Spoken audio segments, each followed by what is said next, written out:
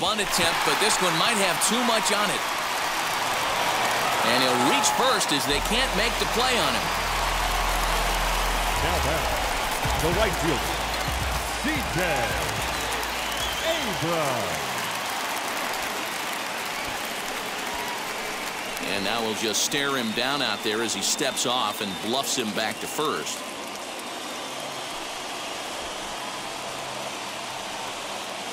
Standing in now, C.J. Abrams. As he'll take a look at a slider in the dirt, and it's ball one. He'll be looking for something he could drive into the gap and drive home that tying run from first.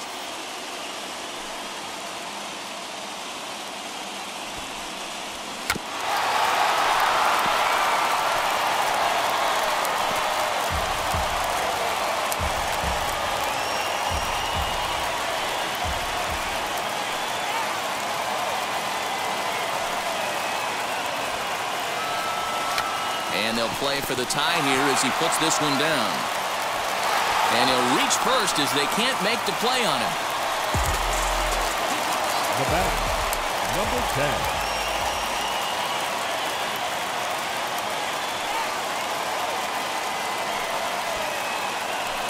And prior to the first pitch, he'll look to first.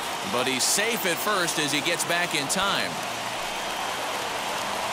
At the plate, number 10. And this one's in the dirt. Good job to corral this quickly as the runners hold on. Tying and winning runs are on here with nobody out.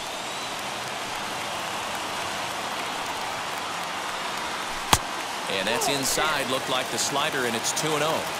One thing's clear, he's not afraid to pitch inside, right? One pitch ducks him away, then he comes right back with another one. So clearly this pitcher, he's not afraid to work that inner half of the plate.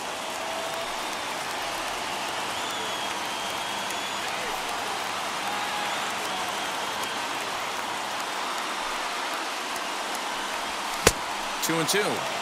That's what you call a challenge fastball right there, boys. I don't know if he was necessarily trying to miss up in the zone like he did, but he got away with it right there and put the fastball by him.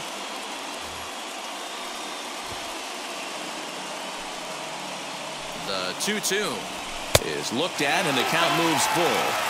That was kind of a gift to the hitter. He's up there probably thinking of protecting on two and two, but when you launch a ball that high out of the strike zone, it's obviously easy to take that one.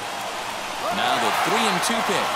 And he misses ball four. So now that potential tying run scoots up 90 feet to third base. So next to hit is Fernando Tatis Jr. trying to bring in the tying run from third here. Wheels and deals. Here's the first pitch. Now he extends nicely, and this ball's driven to right field and deep. And that one is gone!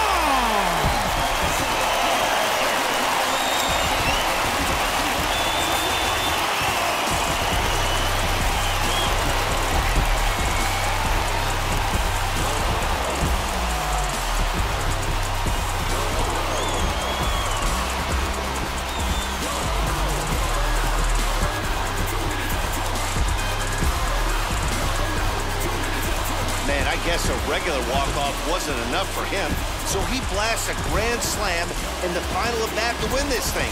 I've seen a lot of things in my day, but that was something very special.